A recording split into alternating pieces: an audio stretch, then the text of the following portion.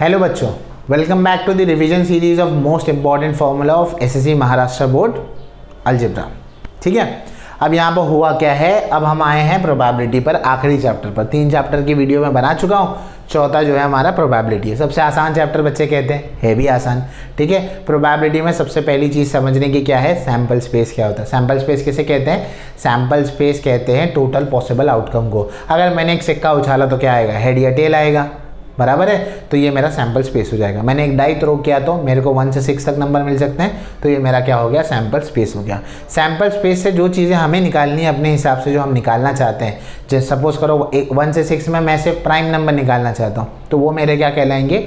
Event कहलाएँगे। इतनी बात clear है? अब देखो प्रोबेबिलिटी में क्या क्या करना है। प्रोबेबिलिटी में सबसे पहले कुछ सैंपल स्पेस याद रख लो जो आपको पता होनी चाहिए। एक कॉइन का सैंपल स्पेस क्या होता है? हेड और टेल आता है। काफ़ी आसान है।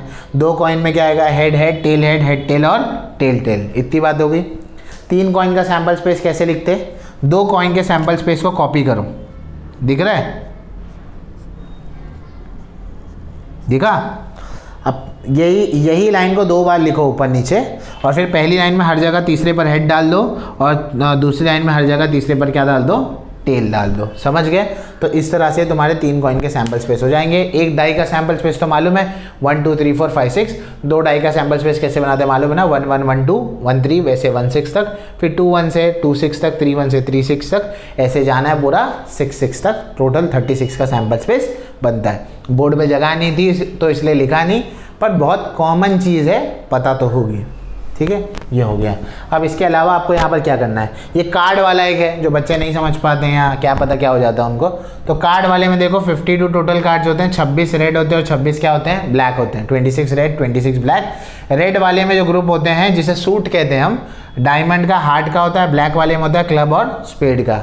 डायमंड हार्ट क्लब स्पेड में तीन तीन कार्ड स्पेशल होते हैं, हर एक में एक किंग, एक क्वीन और एक जैक होता है। तो इसमें तीन इसमें तीन इसमें तीन इसमें तीन, टोटल कितने हो गए? बारह हो गए।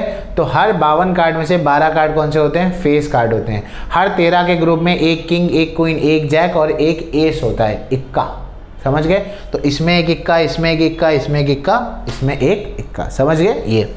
इसके अलावा कोई भी चीज़ की अगर प्रोबेबिलिटी निकालनी है तो कैसे निकालनी है? इवेंट की प्रोबेबिलिटी को सैंपल स्पेस की प्रोबेबिलिटी से डिवाइड करना। मतलब इवेंट में जितने टर्म्स आ रहे हैं मतलब पाँच चीज़ है तो पाँच सैंपल स्पेस में दस आ रहे तो दस से डिवाइड करना है।